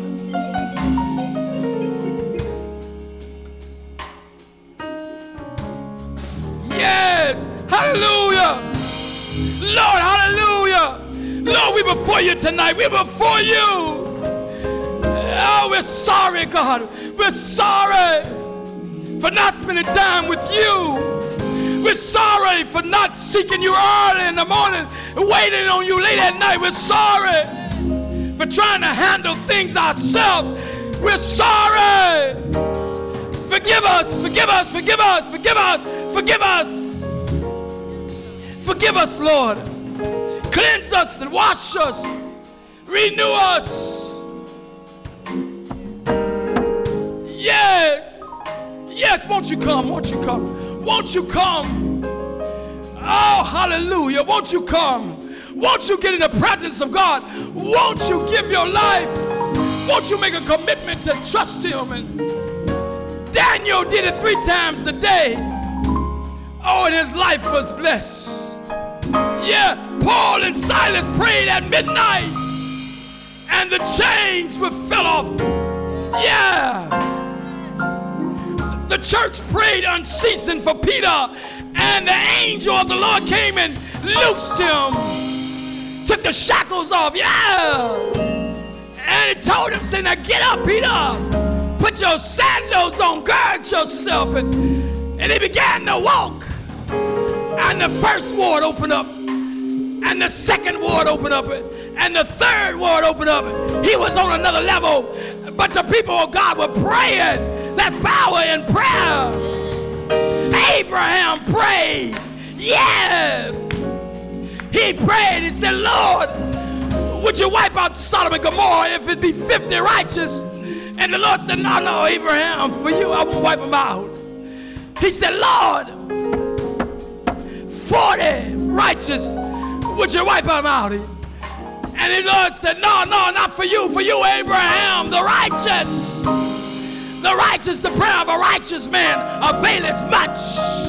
Yeah. He said, Lord, would you wipe them out for 30 if it be 30 righteous now?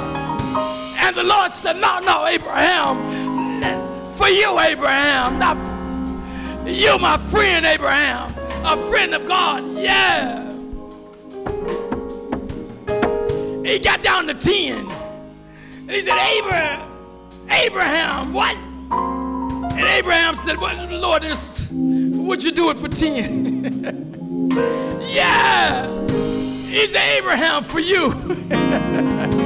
yeah, for Abraham, a righteous man. Prayer, that's what prayer would do. Yeah. And they couldn't find 10 righteous. Reverend, Reverend, they couldn't find 10 righteous. But the Lord delivered, delivered his nephew Lot, delivered his family. That's what God would do for you. If you spend time in prayer, your family. Oh God, if you would just pray. Yes, Lord. Hallelujah. Bless this church. Bless this church, Lord. Bless these people, your people, God, as they seek you, God.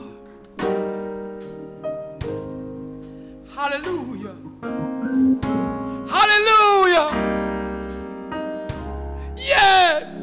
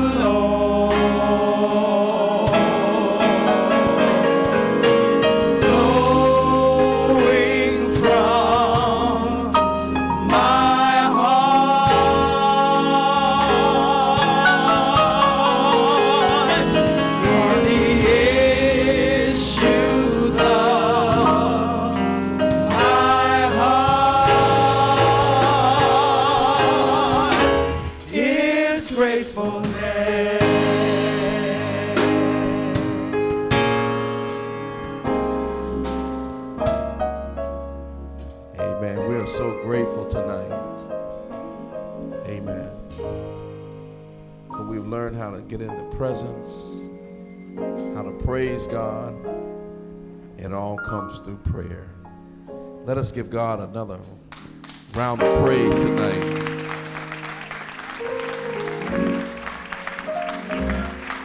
Amen.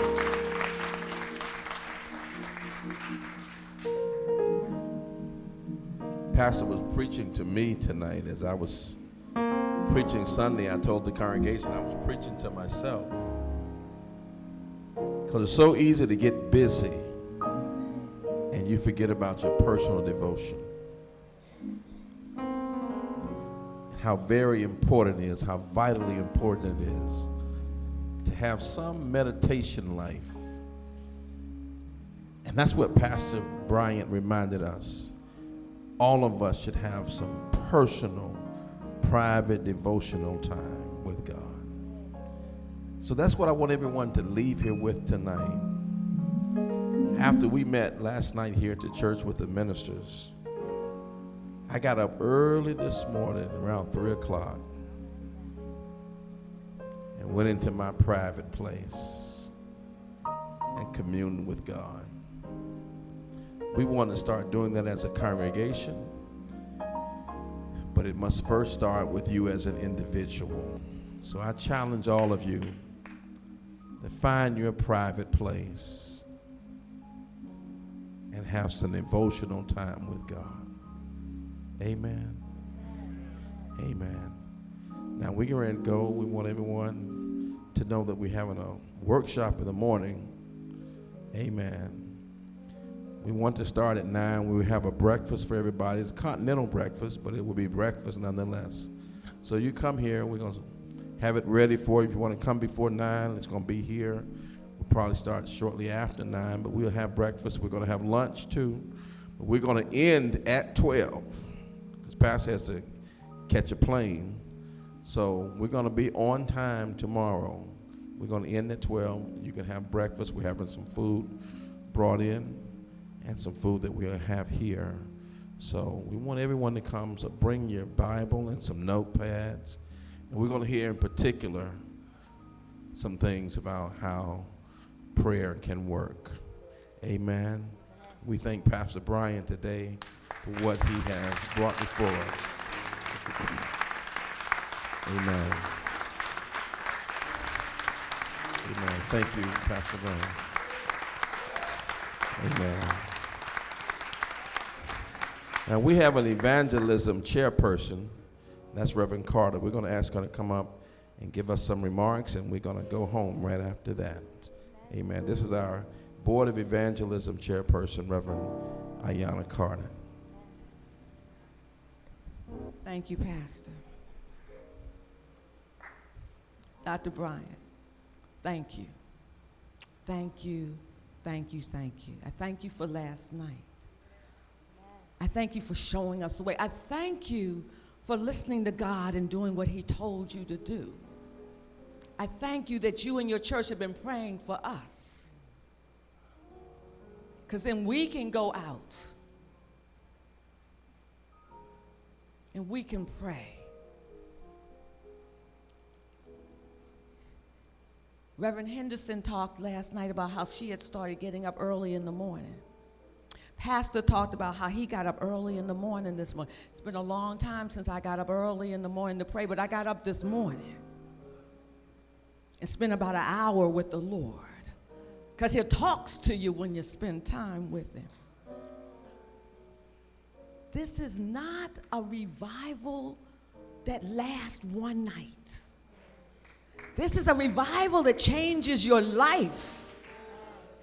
So I invite you to life changing because when you pray in the morning, you pray all day. When you praise in the morning, you praise all day. Come out tomorrow. Invite someone to come out tomorrow. Before we talked about it would just be Israel, we need to share already. You pray for me, I'll pray for you. We'll pray for Pastor and keep his arms lifted high. Thank you. Thank you for coming out tonight because it was ordained for you to be here tonight. And give God all the glory all the way home. And whatever time you were planning to get up tomorrow morning, come up just a little hour, one hour earlier, and pray our way into tomorrow. Thank you. Thank you, Reverend Carter. One thing I want everyone to pray about, pray for our renovation program and plans. That God will bless, that we'll put our elevator in and redo downstairs, because the church needs it. The church needs it, but it's not going to happen without prayer. So I want everybody, everybody, I want you to show me tonight a show of hands. How many gonna pray for our renovation program? Let me see it. All right, now, keep your hands up. You promise God you're gonna do that? All right, you can put your hand back down. I'm all right now, because I know you said not before me, but to God, that you're gonna pray that God would bless our renovation program. Amen. Let's get ready to go home. Let's have the doxology. We'll hear from Reverend Bryant again in the morning. Amen. Let's have a doxology. Praise God from whom all blessings.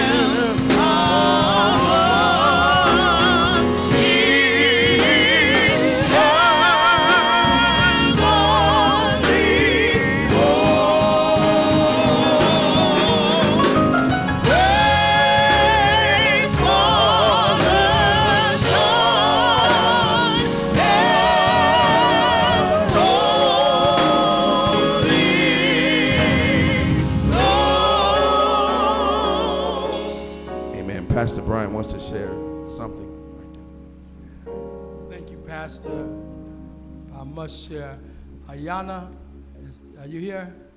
Would you stand, please? Ayana is her mother and family is a member of Allen Metropolitan Church. I want her to stand because she was in a serious auto accident. She was hit from behind and tremendous hospitalization, hospitalization. And her family called me from here, and I called Pastor Helton. And he came to the hospital, and that's the young lady right there that you went to hospital to see, and uh, your prayer warrior. I just had, I hadn't, came in late, I hadn't saw, but I thank God, and we've been praying for healing for you. We continue praying that God will heal you, heal your body. And we thank God. Thank you for coming out. And this is, we thank God for you, Pastor. I called him, and I don't care what his schedule was. He got over there, and she was way out somewhere. I don't know where she was. Reston, Virginia. And she, he went over there and found her, and then sent some members too. So thank you, thank your church. Thank you. I couldn't go, but he went and prayed, and we thank God. I, I must say that to you, Israel. Thank you so much for your ministry. And Pastor, I prayed to the Lord, what should I give you? I want to give you something. And I brought this back from the Holy Land, from Jerusalem. It's anointing oil. And I want to give this to you because how good and pleasant is for brethren to dwell together in unity. It's like the precious ointment upon the beard that ran down Aaron's beard, even Aaron's beard that went down to the skirts of his garments, as the dew of Hermon and as the dew that descended upon the mountains of Zion. For there the Lord commanded the blessing, even life forevermore. This anointing oil, and will run down from you all the way down on your ministers and your people. God will bless your ministry. Amen. I brought this man.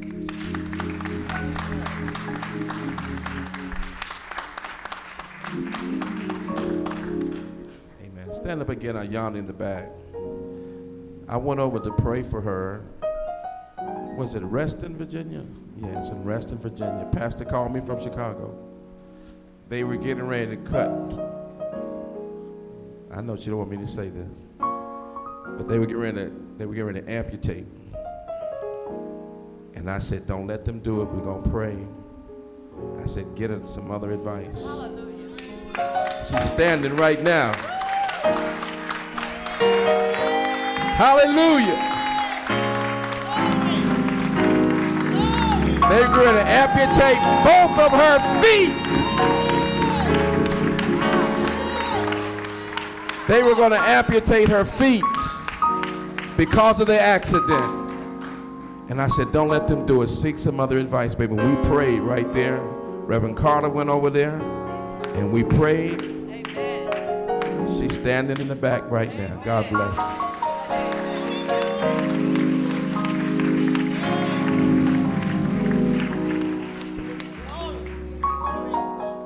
Amen. We thank God for you. Amen. We thank God for you for being here today. We're going to pray for you after we dismiss. We want you to come down so we can even have more prayer for you. Amen. Thank God for you. God is good. They were getting ready to amputate the next day. Thank God. Praise the Lord. God is still in the healing business. Praise God. My mother said to pray. She worked for the CIA. Travels all over the world for the CIA. Amen. But Jesus came, saw to her needs. God bless. Amen. Reverend Carol Richardson, I want you to come up and give the benediction. We haven't heard from you tonight. Come up and offer for us a prayer of benediction. The benediction is the most powerful prayer in the service. Amen. Let us prepare our hearts and minds for prayer. Most gracious, everlasting Father, we just thank you for the word that has been spoken to us and over us this evening. We just ask, dear Father, as we depart this place, that you will dispatch your angels round about us so that we will be safely guarded from here to our individual destinations. We just thank you for the word, dear Father. We just thank you for the word. And as we go, that we will allow our hearts to be transformed, that we will allow our hearts to be renewed, dear Father, and that we will spend a life of prayer and praise to you because we know that there is power, wonder working power in prayer. We just thank you, dear Father. We just praise you, dear Father. And as we go, may we go with the love of Jesus Christ in our hearts. These and all other blessings we ask in the precious name of your Son, Jesus the Christ. Amen. Let the church say amen. You're dismissed. Come back in the morning. We have breakfast and lunch for you. And you'll hear more about the power of prayer. Amen. Good night and God bless.